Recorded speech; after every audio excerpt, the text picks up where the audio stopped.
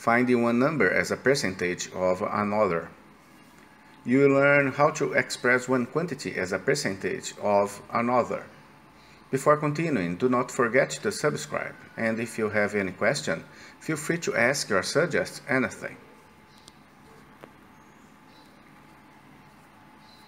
Percentages are often used to compare quantities. It's therefore useful to be able to express one quantity as a percentage of another. To find one quantity as a percentage of another, we write the first as a fraction of the second, then multiply by 100%. To express a quantity as a percent with respect to other quantity, the following formula is used.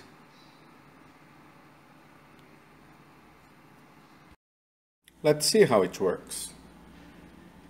Express the first quantity as a percentage of the second. 6 is what percent of 24? 6 will be the part and 24 will be the whole. First, write the given numbers in the fraction form and then multiply by 100%. Divide 600 by 24 to get the percentage.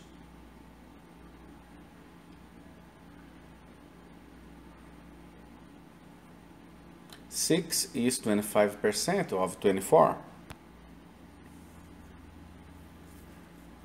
40 marks out of 50 marks.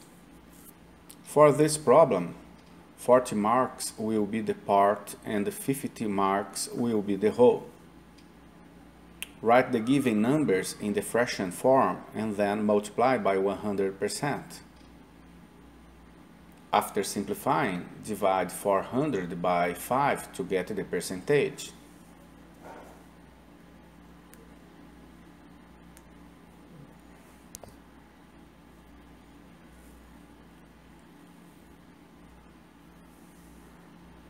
40 is 80% of 50. 332 books sold out of a total of 500 print.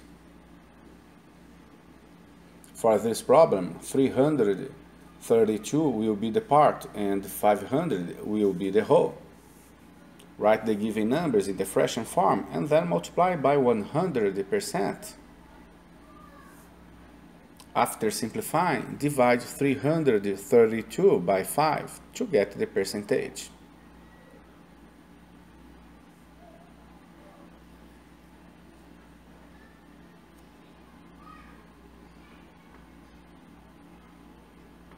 Three hundred thirty-two is sixty-six point four percent of five hundred.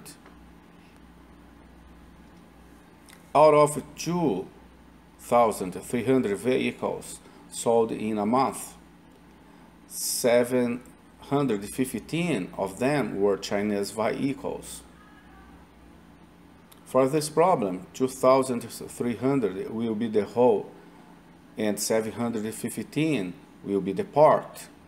Write the given numbers in the fraction form and then multiply by 100%. After simplifying, divide 715 by 23 to get the percentage. 715 is 31.1% of 2,300.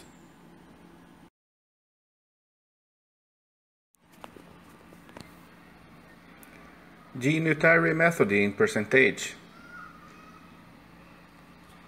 The unitary method in essence is all about finding the per unit value. We first find 1%, then multiply it by 100 to find the whole amount. If we know x percent of the amount is n, then 1% is n over x. Let's see how it works. Find 100% of a quantity if 6% of the quantity is 42. Calculate 1%. We know 6% corresponds to 42. Divide 42 by 6. So 1% corresponds to 7. Now we multiply 7 by 100. 700 corresponds to 100%. 45 is 30% of what number? First, calculate 1%. We know 30% corresponds to 45. Divide 45 by 30. 1% corresponds to 1.5. We multiply 1.5 by 100. 150 corresponds to 100%. 44% of students at the school use public transport. If 186 students use public transport, how many students attend the school? 1% we know 44% corresponds to 186. Divide 186 by 44. 1% corresponds to 4.23. Multiply 4.23 by 100. 423 corresponds to 100%. Finding percentage of quantities. To find the percentage of a quantity, we have to multiply that quantity by the percentage expressed as a fraction. x percent of a quantity is x over 100 times the quantity. Let's see how it works. Find 12% of 340. The word of means multiply. To find a percentage of a quantity, we first convert the percentage to a decimal or fraction. We then multiply to find the required fraction of the quantity. 12% of 340 is 40.8. Find 4.2% of 260 convert the percentage to a decimal or fraction.